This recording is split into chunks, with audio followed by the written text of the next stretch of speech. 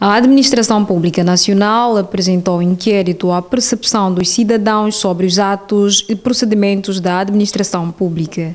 O Simplifica é um projeto de reforma eh, sobre a simplificação de atos e procedimentos da, na administração pública, que, cujas bases gerais foram aprovadas recentemente pela Comissão Interministerial para a Reforma do Estado. A cerimónia decorreu hoje em Luanda, na Escola Nacional de Administração e Políticas Públicas, ENAP, que contou com a presença do Ministro de Estado e chefe da Casa Civil, Adão Francisco de Almeida, e o Ministro da Administração do Território e Reforma do Estado, Marce Lopes. Adão de Almeida, durante a sua abordagem, disse que o projeto Simplifica tem por objetivo melhorar os serviços públicos. Como de resto o lema do Simplifica diz, fazer com que tudo isto seja mais fácil para todos, para o cidadão e para quem presta serviço público.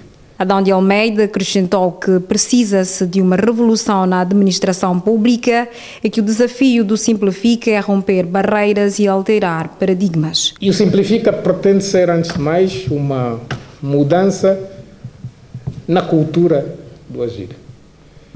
E a expressão escolhida para designar o projeto vem tentar transmitir essa mudança cultural, que é a ideia da simplicidade. Para Pedro Fiete, secretário do Presidente da República para a Reforma do Estado, a maior preocupação do governo é a satisfação do cidadão. O foco do Estado é prestar serviço público tendo em vista a percepção do interesse público e a satisfação das necessidades dos cidadãos e da coletividade no geral.